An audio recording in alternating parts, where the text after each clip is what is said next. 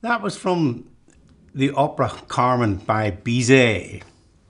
I used to play it a lot when I was playing in the in the opera. I played it all the time and really loved it. Also played it with Herbert von Karajan, the Berlin Philharmonic, but that's all history. Now I'd like to show you a special way to play all scales, so practicing so that you feel a bit more at home and so that you feel that you're actually playing music.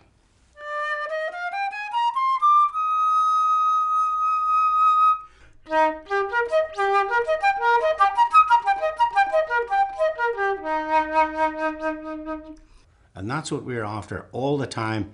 Every note's got to be a pearl.